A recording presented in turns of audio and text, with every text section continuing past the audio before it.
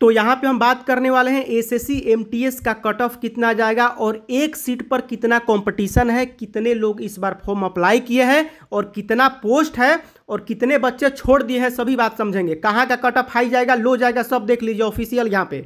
दो हज़ार उन्नीस में अड़तीस लाख बच्चे रजिस्ट्रेशन किए थे। 2021 की भी बात करेंगे, इसको समझ लीजिएगा तो सब कुछ आसान हो जाएगा। 2019 देखिए, नोटिस है, अड़तीस लाख, ध्यान से देखिए, अड़तीस लाख रजिस्ट्रेशन किए थे तो एमटीएस में आपको पता है दोस्तों की मैट्रिक पर निकलता है तो सब लोग अप्लाई कर देता है। कुछ लोग फ़ी पेमेंट नहीं करता है, छोड़ देता है अप्लाई करके, उसका भी शो करेगा। तो अड़तीस लाख रजिस्ट्रेशन किए हैं ना, कितने लोग परीक्षा देने गए हैं? देखिए, number of candidate appear in the examination मतलब कि अठारह लाख बच्चे एग्ज़ाम दिए थे मतलब इसका मतलब आधा बच्चे दिए थे एग्ज़ाम, ठीक है? तो आधा बच्चे दिए थे तो इस बार का कंडीशन क्या है? 2021 का अगर हम बात करें, और कट ऑफ़ कैसे किसी किसी का 110 चला जाता है 100 में किसी किसी का 100 में 120 दिखा रहा था पिछली बार का, उसका भी हम डिटेल से समझेंगे। यहाँ पे देखिए 2021 में क्या है कि यहाँ पे लगभग चौवालीस से पैंतालीस लाख फॉर्म अप्लाई हुआ ठीक है? चौवालीस से पैंतालीस लाख फॉर्म अप्लाई हुआ है तो यहाँ पे मैक्सिमम आपको अगर कहा जाए तो बीस से बाईस लाख ही परीक्षा देंगे, ठीक?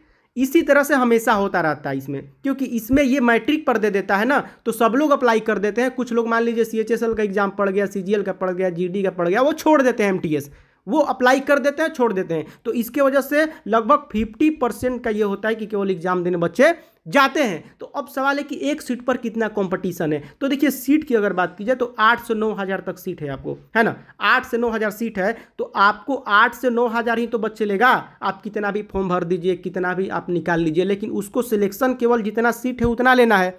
तो यहाँ पे 45 लाख फॉर्म अप्लाई किए 22 लाख परीक्षा देने गए। तो 22 लाख परीक्षा देने गए तो सब लोग डिस्क्रिप्टिव के लिए थोड़े एलिजिबल हो जाएगा। टीयर वन दीजिएगा तभी तो टीयर टू में जाइएगा। तो टीयर वन दीजिएगा, यहाँ पे 22 लाख लोग टीयर वन दिए, ठीक है? जो सौ नंबर का आता है, वो बाईस लाख लोग दे दिए। मान के चलिए दे दिए। तो बाईस लाख दिए तो उसमें से सिलेक्शन कितना का करेगा?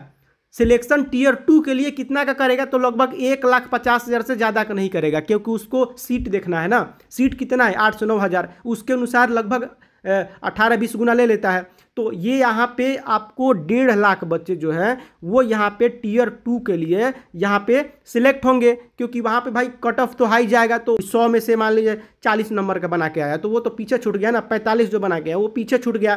तो जो सत्तर मारा है, जो पैंसठ मारा है, जो साठ मारा है, उसको सिलेक्ट किया जाएगा तो उनका संख्या कितना होगा? बाईस लाख में। ज़्यादा से ज़्यादा डेढ़ लाख होगा। तो डेढ़ लाख लोगों को लिया जाएगा। तो डेढ़ लाख लोगों को जब लिया जाएगा दोस्तों तो उसमें उनका फिर डिस्क्रिप्टिव होगा, है? वो क्वालिफाइंग नेचर का होता है, खैर, वो पचास नंबर का होता है तो क्वालिफाइंग उसमें लगभग चालीस पैंतीस नंबर आपको लाना होता है। लास्ट में छाट, छूट के आपको आठ से नौ हज़ार ही जितना पोस्ट है, उतना ही आपको सिलेक्शन यहाँ पे किया जाता है। क्योंकि यहाँ पे डिस्क्रिप्टिव में भी बहुत लोग छट जाते हैं। तो कहने का मतलब है कि कट ऑफ़ कितना आ जाएगा तो सीट पर कंपटीशन कितना है? तो देखिए, एक सीट पर अठारह बच्चे हैं अठारह बच्चे हैं, कैसे हैं? तो आठ हज़ार पोस्ट है, ठीक है? और यहाँ पे एक लाख पचास हज़ार बच्चे परीक्षा देने टीयर टू के लिए गए। तो आप उसको भागा करके देख लीजिए। भागा करके निकालिएगा तो एक सीट पर अठारह से बीस बच्चे ही पढ़ेंगे। तो लास्ट में जाकर के एक सीट पर अठारह बच्चे ही पढ़ते हैं, ठीक है? क्योंकि डिस्क्रिप्टिव में भी बहुत लोगों को छांट दिया जाता है और फिर जाकर के फाइनल किसी एक को सिलेक्ट किया जाता है। तो इससे पचास नंबर का होता है, आपको ऐसे वगैरह लिखना होता है। अब देखिए कट ऑफ़ कितना जाएगा। तो कट ऑफ़ देखिए, कभी भी एमटीएस का लो नहीं जाता है, ठीक है? हमेशा से रहा है। हमेशा से रहा है, इसका आपका एक पचास नंबर में रहा हो या सौ नंबर में। कभी कभी क्या होता है कि डेढ़ सौ नंबर का भी पहले होता था। 2018 की बात करें 2017 की बात करें, उस समय डेढ़ सौ नंबर का होता था। मैं आपको दिखा रहा हूँ। यहाँ पे देखिए। यहाँ पे अगर 2017 की बात की जाए तो देखिए यहाँ पे नंबर ऑफ़ क्वेश्चन लिखा है ना 25 क्वेश्चन 25 और 25 नंबर का हुआ है। यहाँ पे 25 का 25 यहाँ पे 50 का 50 यहाँ पे 50 का 50 यानी कि 50 50 सौ और ये सौ। सौ ये पचास, यानी कि डेढ़ सौ नंबर का। तो एमटीएस क्या करता है कि कब पिछली बार क्या करता था कि जीके में पचास नंबर का कर देता था, इंग्लिश पचास नंबर का तो वो मिला करके डेढ़ सौ नंबर का हो जाता था। उसलिए लोगों को लगता है कि सौ में एक सौ बीस कैसे आ गया, एक सौ तीस कैसे आ गया। नॉर्मलाइजेशन भी है इसमें फैक्टर वो बताएँगे हम आपको। यहाँ पे देखिए जीके में पचास हो गया ना तो ये सवाल रहेगा पच्चीस क्वेश्चन देखिए, यहाँ पे पचास क्वेश्चन दिया है, पचास नंबर का। पचास क्वेश्चन पचास नंबर का। पिछली बार का हम दिखा रहे हैं। ये पच्चीस क्वेश्चन पच्चीस नंबर का। तो कुल मिलाकर देखिएगा तो पच्चीस पच्चीस, पचास, सौ, डेढ़ सौ हो जा रहा है। तो इसी तरह की बात है। उसी लिए कट ऑफ़ एक सौ तीस, एक सौ छब्बीस, एक सौ पच्चीस ये दिखाता है। ऐसा नहीं है कि आपको सौ में एक सौ तीस आ गया। नॉर्मलाइजेशन में ज़्यादा से ज़्यादा चार नंबर, पाँच नंबर का फ़र्क पड़ता है। वो भी आपका टफ शिफ्ट रहेगा तब। ऐसा नहीं है कि सबको नॉर्मलाइजेशन में फ़ायदा मिल जाता है। जैसे मान लीजिए कोई शिफ्ट है जो काफ़ी टफ है, जिसमें लड़के उतना नंबर नहीं कर पाए तो उसमें क्या किया जाता है कि टफ होने की वजह से वो भी कब जब आप छोड़ेंगे तब, अगर मान लीजिए तुक्का मार रहे हैं खूब, आपका ऐसा शिफ्ट है जिसमें आप पचपन या साठ से ज़्यादा नहीं कर सकते। इतना ज़्यादा, ज़्यादातर लड़के जो हैं, सौ में से अस्सी लड़के साठ से ज़्यादा सही नहीं कर पा रहे हैं, और आप क्या किए कि चालीस को ऐसे ही मार दिए तुक्का। तो जब तुक्का मारिएगा तो फिर उसमें थोड़ा दिक्कत हो जाएगा, देखिए। तुक्का नहीं मारना है। आपको एक बात का ध्यान रखना है कि आ रहा है, उतना ही मारिए। ये मत सोचिए कि निगेटिव पच्चीस का है तो चार ठो गलती होगा, तभी तो एक ठो कटेगा। ऐसा नहीं सोचना चाहिए। बहुत कम ही रेयर सही होता है तुक्का मारने वाला, क्योंकि अगर पहले से अंदाज है तो ठीक है, नहीं है तो अब देखिए टफ अगर आपका सीज़न है, अगर मान लीजिए जो सिर्फ़ टफ है और उसमें आप अगर छोड़ दिए हैं, जिसको आपको नहीं पता है तो उसमें क्या किया जाता है कि नॉर्मलाइजेशन में उसका मार्क्स बढ़ा दिया जाता है। ठीक है? तो ये फ़ायदा होता है। और कट ऑफ़ की अगर बात की तो कट ऑफ़ हमेशा से हाई गया है इसका। हाई इसलिए गया है क्योंकि इसमें एस्पायरेंट भी बहुत ज़्यादा होते हैं कैंडिडेट ज़्यादा होते हैं और टेंथ लेवल पे होता है तो अच्छे खासे स्कोर करके लोग चले आते हैं। इसीलिए इसका कट ऑफ़ हाई जाता है। जो अच्छे से ऐसे लेटर भी बहुत लोग अच्छे से नहीं लिख पाते, उसमें भी तरीका है। अगर उसमें बढ़िया से नहीं लिखिएगा तो उसमें आपको साइड कर देगा वो लोग। साइड कर देगा, फिर उन्हीं लोगों को लोगा जिनको उनको जिनका नंबर ज़्यादा है, जिन्होंने अच्छा डिस्क्रिप्टिव में किया है, उनको लास्ट में ले लेगा। ठीक है? तो ये सब ध्यान रखना तो दो तीन बातें हैं, मैंने आपको बता दिया है। कट ऑफ़ ये मैंने आपको दिखा दिया, यही लगभग जाने वाला है। पचहत्तर यू का आपको पचहत्तर से कम नहीं जाएगा। अगर टीयर वन की हम बात कर रहे हैं टीयर टू का तो खैर वो डिसाइड करते हैं।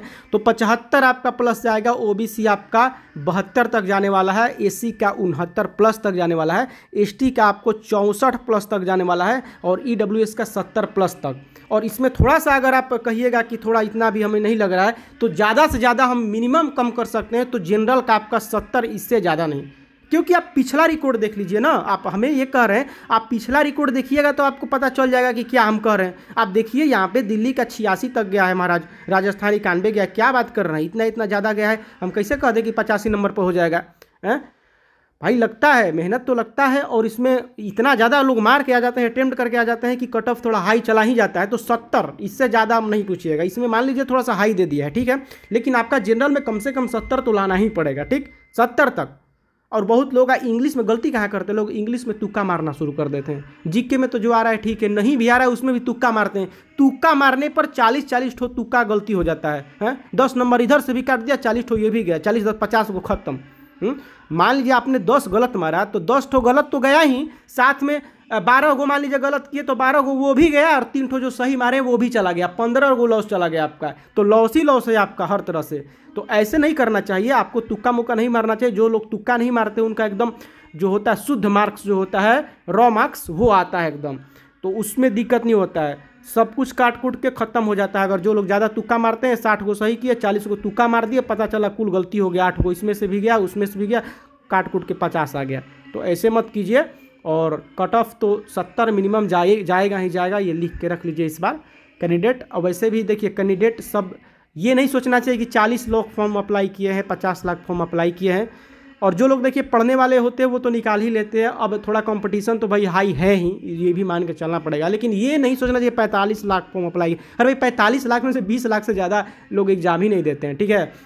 और सीट जितना रहेगा उतना ही तो लेगा। मान लीजिए बीस लाख परीक्षा दी उसमें से एक डेढ़ लाख निकाल लिए परीक्षा, टीयर टू के लिए। तो डेढ़ लाख निकाल लिए, सीट है नौवे हज़ार। तो क्या करेगा वो? डिस्क्रिप्टिव में छाटेगा। जो बेहतरीन से बेहतरीन परफॉर्मेंस करेगा, उसका वो सिलेक्ट करेगा। अब यहाँ पे थोड़ा सा एक और चीज़ हम देख लेते हैं सेफ़ जोन डेंजर जोन को लेकर के, क्योंकि बहुत लोग कहते हैं कि किस स्टेट में ज़्यादा हाई कट ऑफ़ जाएगा कहाँ पे लो जाएगा। तो देखिए, अगर आप कर्नाटका से किए हैं, आसाम से किए हैं, मुंबई से किए हैं तो यहाँ पे थोड़ा सेफ़ रहता है, ठीक है? पैंसठ पे भी हो जाता है। लेकिन आपको पता है कि बिहार हो गया, आपको राजस्थान हो गया, झारखंड हो गया, या हरियाणा वगैरह जो है, पंजाब, इस सब इलाकों में कट ऑफ़ तो हाई हमेशा से जाता आता रहता है और हमेशा गया है, ठीक है?